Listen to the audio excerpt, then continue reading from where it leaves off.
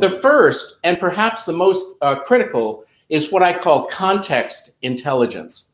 This is what people in the military refer to as situational intelligence. You know, you drop into an unfamiliar environment and you immediately have to make sense of it and figure it out. Or it's what basketball great Bill Bradley called a sense of where you are when his uh, biographer, uh, John McPhee, wrote a great book about him by the same uh, title, where Bill Bradley famously would turn away from the basket and throw the basketball, and it would somehow always seem to find its way to the basket. He always knew where he was. He would pass the ball without looking at the receiver. He would do all kinds of things because he knew where he was. And the journey, if we're talking about the journey of going from today to the future that we want, we have to begin with a clear sense of where we are. What is the truth of our situation, separate from all of our uh, prejudices, our biases?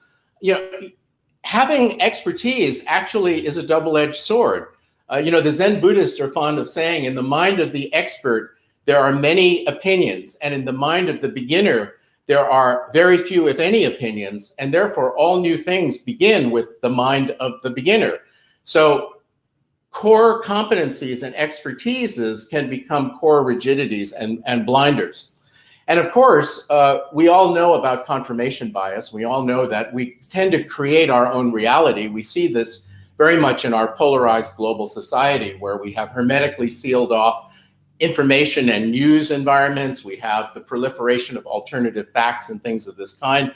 It's increasingly easy through the power of social media to create that diversity of opinion that uh, mitigates against alignment, against being able to see things accurately as they are. So, this whole notion of context intelligence as first establishing the truth of where you are, researching data, being able to read weak signals, being able to honor uh, divergent opinions, uh, being able to work with people whose point of view is different from yours, perhaps even discordant from yours, cultivating novel sources of input. You know, one of the reasons that uh, Franklin Delano Roosevelt was so successful as a leader is because he cultivated people who had novel points of view and he empowered them to do things that were out of the traditional chain of command. He would call someone into his office who was a junior diplomat or a junior officer, and he would say, Go off and find out about this, and then come back and just report to me.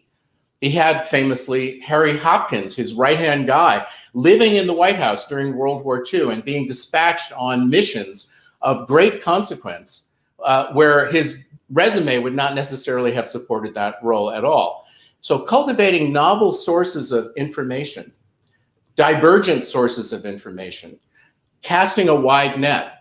You know, divergent thinking leads to a quantity of ideas, which in turn can be then curated and focused to lead to the insights that you really need in order to prosecute your business.